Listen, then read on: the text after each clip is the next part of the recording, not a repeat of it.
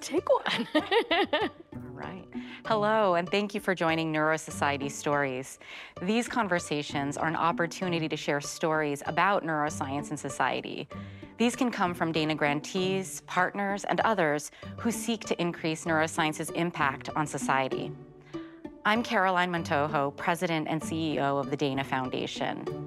Our mission is to advance neuroscience that benefits society and reflects the aspirations of all people. We're supporting work to understand how neuroscience can shape a brighter future by fostering meaningful connections between scientists and other scholars and the people whose lives could be impacted by their work. Today, we are delighted to have Jayatri Das join us in a discussion on public engagement in science. This engagement can take place in K 12 education and also in lifelong learning outside of school. Jayatri Das is Chief Bioscientist of Philadelphia's Franklin Institute. There, she led the development of the award winning exhibit about neuroscience and psychology. Jayatri, welcome. Thank you for joining us today. Thanks so much for having me, Caroline. Absolutely. To start us off, can you tell us about your work at the Franklin Institute and your background? So, I am actually an evolutionary biologist by training, so I come into neuroscience from a little bit of a different angle. As I was finishing my PhD, there was a really highly publicized trial about teaching evolution in Pennsylvania, just a few hours away from where I grew up. And all of the coverage around that trial really brought into focus for me the bigger issues in science education, especially when we think about evolution, about how people's values and, and personal experience really shape their understanding and really perception of the value of science. Uh, and that really comes, you know, into perspective with evolution in particular, but certainly many other areas of science. I'd also love to hear what inspired your career path into science public engagement. I was lucky enough to find a fellowship in a science museum that gave me a window into the professional world of museums. And that was really eye opening for me. I always went to science museums as a kid, but didn't really realize who worked there. And realizing that combination of working with public audiences when they're really self driven to learn that was so exciting is that they're bringing their knowledge, their understanding to the space, and then the creativity that science museums bring to making experiences that foster that learning, that was a combination that had me hooked. Jayatri, how did you first get involved with neuroscience? You mentioned evolutionary biology as your training. Before I was hired at the Franklin Institute, TFI was planning to expand the building and create a whole new signature exhibition, and they had surveyed the audience to find out what people were interested in.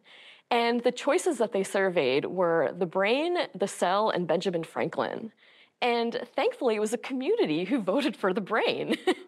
because what a rich opportunity to explore an emerging field of science that really shapes our lives every day. And it's just expanded in directions I could never have predicted. Um, can you share what discussion and critical thinking skills are needed to be able to go beyond the basic neuroscience topics to exploring these topics in science and society? Knowledge about science is only part of the picture. What do you do with that knowledge, and how do you feel empowered to apply that knowledge in your everyday lives? Obviously, there's foundational neuroscience that we want students to learn because that really helps our understanding of the world. But beyond that, it's really thinking about how do I have dialogue with somebody where I'm open to learning somebody else's perspective and maybe willing to change my mind? And so we really think about uh, structuring those skills in kind of four different ways.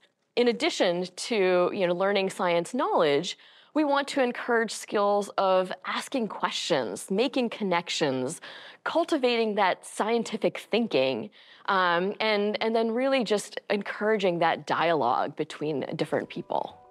In 2022, the Dana Foundation awarded a grant to the Franklin Institute to revise its neuroethics curriculum to a new neuroscience and society curriculum that better captures the world that we live in today. Can you tell us about this project and why is it important? Who is it meant for? And what is its purpose? Absolutely. So, this was a project that we had started in a first iteration some years ago Because when we opened the Your Brain exhibit at the Franklin Institute back in 2014, we had developed a number of curriculum resources for teachers uh, to really take the content of the exhibit and bring it into their classrooms. And so in 2017, we had published this first version of the curriculum.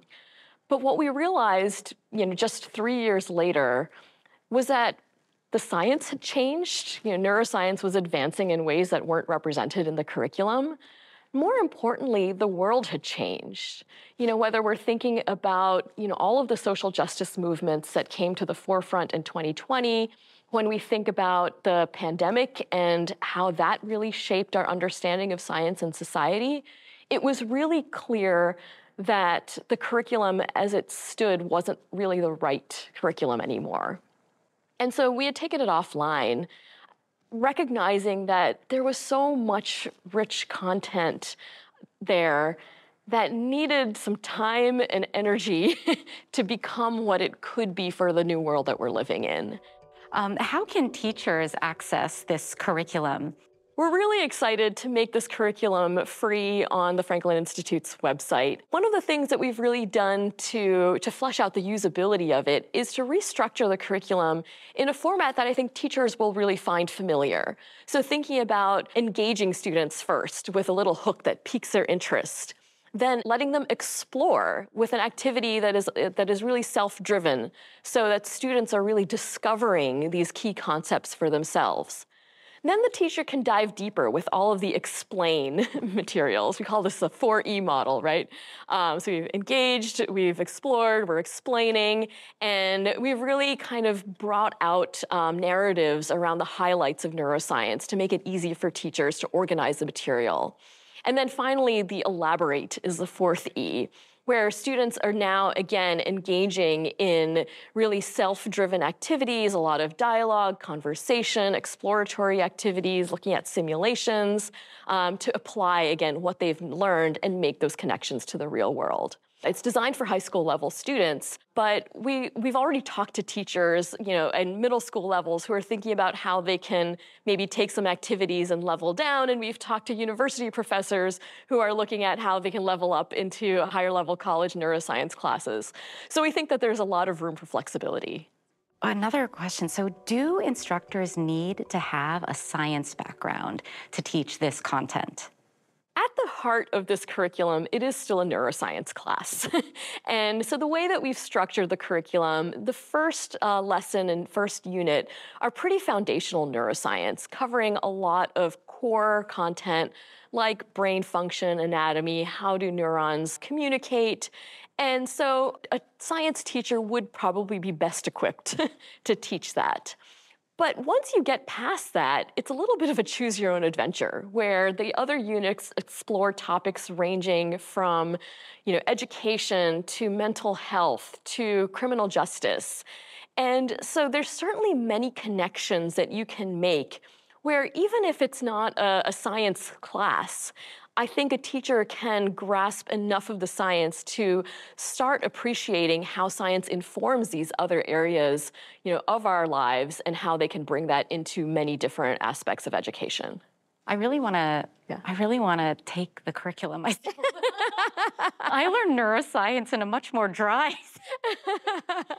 it was like in classes, more about memorization and understanding the basic facts, but being able to understand how it applies to different aspects of life, it was something that just wasn't, it wasn't really taught in that way at the time. Your experience really speaks to the strength of this approach. One of the things that we learned from evaluating the curriculum with pilot schools was that participating in this course really had the biggest impact on girls, on students who had initially the lowest interest in neuroscience, and students who initially had the lowest interest in science in general. And so I think it speaks exactly to what you're picking up that allowing the science to exist in this broader world really allows a lot more entry points for different students to get engaged and excited. Did anything surprise you as you updated and revised this curriculum?